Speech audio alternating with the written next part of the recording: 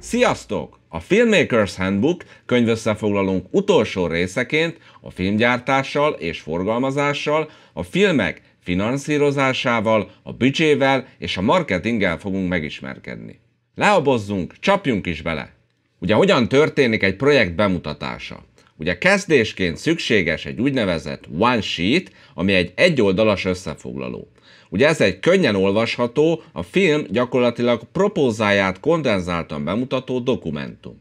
Ugye például olyan vezetőknek szokás ezt készíteni, akiknek nincs ideje egy teljes forgatókönyvet elolvasni. Na most itt az olvasónak gyorsan meg kell értenie a film középpontjában levő drámai kérdést.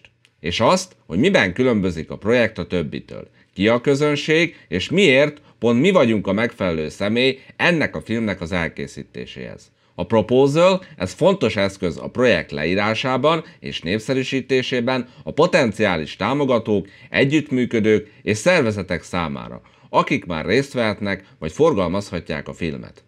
A logline egyetlen figyelemfelkeltő kis bekezdésben írja le a történetet. Ugye ez lehetőség szerint egy vagy két mondat. Na most ezekre láthatunk három példát. Ugye egyrészt a Supermanből, a Gladiátorból, és a Volt egyszer egy Hollywood című filmekből. Ugye egy forgatókönyvvel rendelkező film esetén a szinopszis, amely a karakterek és a cselekmények rövid összefoglalását adja. Például itt a Star Wars szinopszisát láthatjuk. Na most a finanszírozás és a befektetés. A befektetők által finanszírozott film esetében részletezni kell a pénzszerzés módját.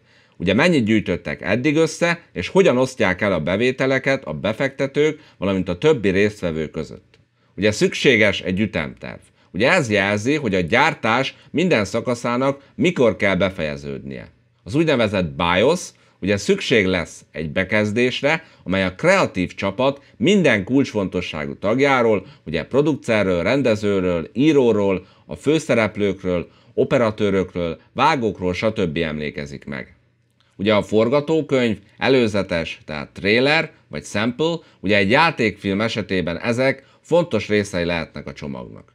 A lookbook, ugye a produkciós design és a film képi világának szempontjából ad olyan összképet, amit meg szeretnénk valósítani. Helyszíneket, jelenetrészleteket, fotókat, stb. tartalmazhat. Például helyszíneket, jelenetrészleteket, fotókat, stb. tartalmazhat. Na most elengedhetetlen, hogy a kulcsfontosságú együttműködő partnerek egyértelműen írásban rögzítsék a pozíciójukat tulajdonosi és pénzügyi vonatkozásukban. Ugye például a producernek és a rendezőnek aláírt megállapodással kell rendelkeznie, amely meghatározza a munka felelősségét és ellenőrzését. Az esedékes kifizetéseket, a nyerességmegosztást, a szerzői jogokat és megállapodást kell kötniük a választott bírósággal, ugye amely vita esetén lehet szerepkörben. Na most milyen finanszírozási formák vannak? Ugye a kereskedelmi finanszírozás, a mozis bemutatásra szánt játékfilmeket általában stúdiók, filmforgalmazók, befektetői csoportok finanszírozzák. Ugye ezek, akik a film jövőbeni bevételeinek egy részéért cserébe fektetnek be. A következő az úgynevezett részvényfinanszírozás. Ugye ennek során a készpénzt biztosító befektetők pontokat kapnak, amelyek a nyereség részét képezik. Ha a film nyereséges, a befektetők visszakapják a befektetéseiket. Plusz ugye további százalékok. Ugye a pontokat a producernek is fizetnek, és a többi profit részesnek is. Na most sok filmet, különösen a jól ismert filmesek filmjeit részben vagy egészen a készterméket forgalmazó szervezetek finanszírozzák. Ugye a független producerek esetében már gyakran nem tudják a gyártás előtt eladni a filmet. Ugye az előzőekben felsorolt finanszírozási források általában csak olyan projektek számára állnak rendelkezésre, amelyek valószínűsíthetően nyereséget termelnek majd, vagy jelentős közönséget találnak. Ugye sok dokumentumfilm, kísérleti, ismeretterjesztő vagy kisjátékfilm lényegében soha nem termel nyereséget, vagy bizonyos esetben még a költségek sem térülnek meg, és viszonylag kicsi, réteg közönséget céloznak meg. Na most ezen projektek esetében a finanszírozás állami, alapítványi vagy magánadományokból épül fel. A közvetlen támogatások. Ugye néha a támogatók költségmegosztást követelnek a költségvetés egy részének saját vagy mások pénzéből történő finanszírozásával. A megfelelő támogatásokat azzal a kikötéssel adják, hogy bizonyos pénzeket először harmadik külső fél, tehát harmadik külső fél révén kell előteremteni. Na most gyakori forma a közösségi finanszírozás. Ezek olyan oldalakon keresztül jöttek létre, mint például a Kickstarter, vagy az Indiegogo. Ugye itt közzé tehető egy projektötlet, és az érdeklődők pénzt adományozhatnak annak finanszírozására. Most beszéljünk picit a büdzséről is. Ugye a költségvetésbe a filmgyártás minden aspektusának költségeit beleértjük. A költségvetés kezelése ugye a producer egyik legfontosabb feladata. A gyártás előtt a becsült költségvetés kulcs szerepet játszik a projekt finanszírozásában és elindításában. A játékfilmek esetében a producer, gyártásvezető elolvassa a forgatókönyvet és becsült költségvetést készít a helyszínek, a szereplők gárdája, a szükséges speciális effektek, stb. alapján. A gyártás során a büdzsé a költségek nyomon követésére használható, ugye abból a célból, hogy a film a becsült értéken belül maradhasson. Na most fontos az úgynevezett Daily Production Report. Ugye napi lebontásban követi a stáb és a gyártási munkálatok felügyelőinek munkaóra számát, továbbá a felvételek mennyiségét. Ugye kitűnő szoftveres lehetőséget biztosít, például a Movie Magic Budgeting. Ugye ez a költségvetés összeállításában és a kiadások nyomon követésében segít. Bármilyen költségvetési formánál az első oldal egy költségvetési összefoglaló, ugye itt a fő költségvetési kategóriákat, így például a stáb munkáját jelenítik meg, a felszerelést, utazások, stb. És a teljes költséget mutatja. A táblázatban majd később a fő oldalra hivatkozva megjelennek a részletek. Tehát, amelyek az egyes kategóriákat bontják tovább. Ugye például a felszerelések rész, amely részletezi a kamera vagy hangfelszereléseket, illetve a világítás kölcsönzést. Na most a költségeknek alapvetően két típusa van. Above the line és below the line costs. Az előbbi a producerek, a rendezők és a kulcs szereplőknek a fizetései valamint a gyártás megkezdése előtt felmerülő költségek, például a sztori joga és vagy a forgatókönyv. Az utóbbi, ugye below the line costs, ez tartalmazza a gyártásban felhasznált összes berendezést, anyagot és egyéb költségeket is. A forgalmazási költségek magukban foglalják a film forgalmazása során a másolatok készítését, ugye digitális fájlokat elsősorban, előzeteseket, hirdetést, promóciót, valamint a forgalmazói iroda működtetését. A költségvetésben van egy esetleges tétel, ez általában a teljes költségvetés 5-15%-át jelenti. Ugye ez az összeg a váratlan események fedezésére szolgál. Berendezések meghibásodása, késés, újraforgatások, vagy például nem tervezett plusz felvételek költségei. A film elkészítésének közvetlen költségei mellett a produkciós vállalat gyakran díjat számít fel a rezsiköltségekért is. Ugye a rezsi magában foglalja a vállalkozás projektől független működtetésének közvetlen költségeit. Irodaterület bérlés, vagy például üzleti biztosítás. Na most ugye a nyereség az minden tényleges kiadáson felüli pénzbevétel. Na most a szerzői jogokról, illetve egyéb jogvédelemről. Na most nem védhető leszerzői joggal a filmben szereplő koncepciók vagy ötletek. Ugye ami levédhető, azok konkrétumok. Na most a plotra vonatkozó nagy vonalakban megfogalmazott ötletek, azok szintén nem birtokolhatók. De párbeszéd szó szerinti kivonatai viszont igen. Na most az általános szerzői jogi megállapodások szerint a szerzői jog akkor vonatkozik a forgatókönyvekre, vagy filmekre, amikor azok papírra vannak vetve, ugye forgatókönyv, vagy videóra vannak rögzítve. Tehát magyarul elkészült a felvétel.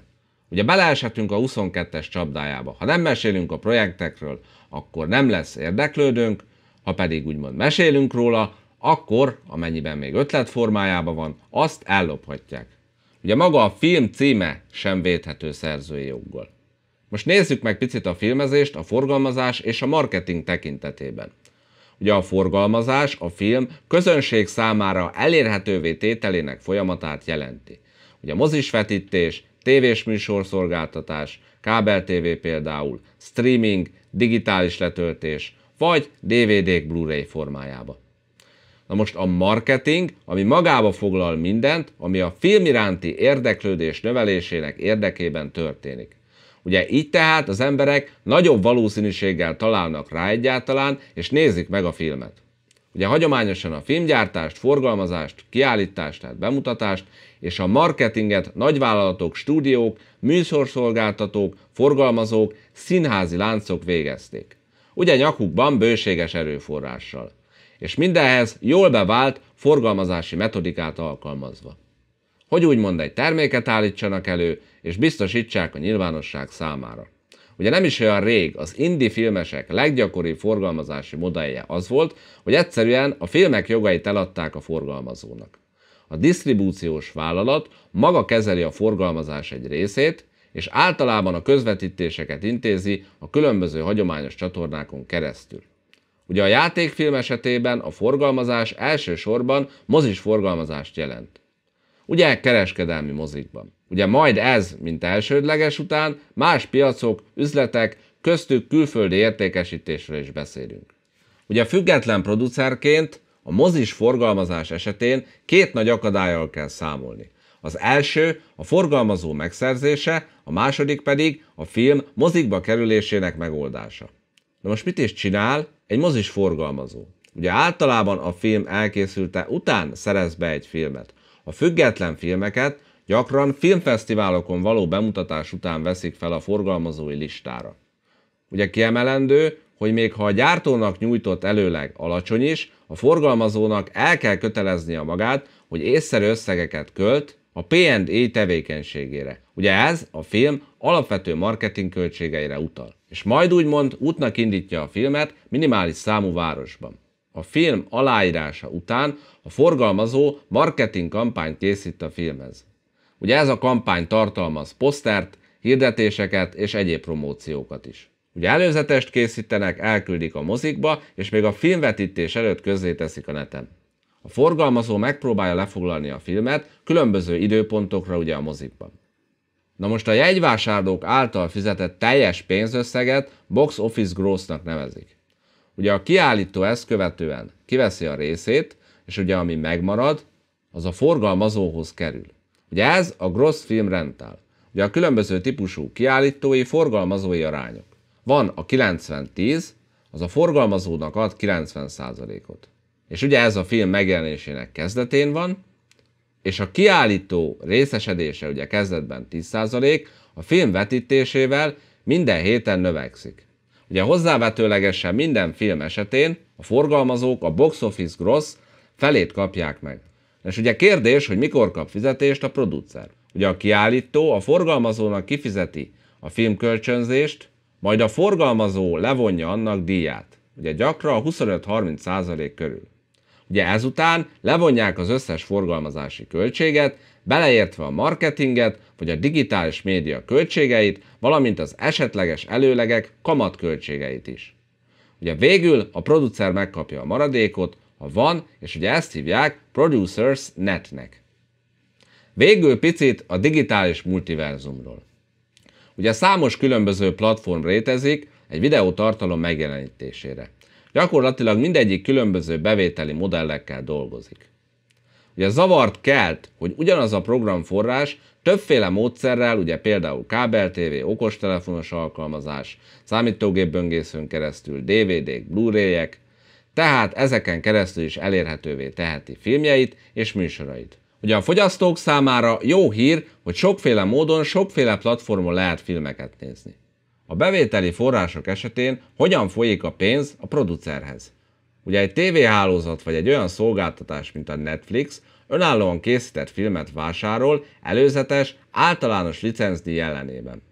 De ugye számos más bevételi mód esetében a nézőnek minden egyes alkalommal kell megfizetniük a díjat, amikor mondjuk megnéznek, tehát kikölcsönöznek, vagy vásárolnak egy filmet. Ugye a százalék pedig visszatér a producerhez. Ugye bizonyos esetekben a produceri jogdíj meglehetősen kicsi. Ugye kicsi, ugye a szolgáltatók és üzletkötők által végrehajtott levonások miatt. Ugye bizonyos esetekben a bevétel nem a fogyasztóktól, hanem a hirdetőktől származik. Ugye az olyan webhelyek, mint a YouTube, ingyen kínálhatnak filmeket, de amikor közzéteszik a filmet, különböző módok vannak a bevételszerzésre. Ugye hirdetési bevételek. A bevétel attól függ, hogy hány néző nézi. Az olyan webhelyek, mint a YouTube, ingyen kínálhatnak filmeket. De amikor közzétesszük a filmet, akkor különböző módok vannak a bevételszerzésre. Ugye ilyenek a hirdetési bevételek. A bevétel attól függ, hogy hány néző nézi. Ebben a videóban lényegében ezeket szerettük volna veletek megosztani. Ugye, mint az elején elmondtuk, sorozatunk legutolsó részét láthattátok. Ha tetszett a videó, dobjatok egy lájkot, iratkozzatok fel. Sziasztok!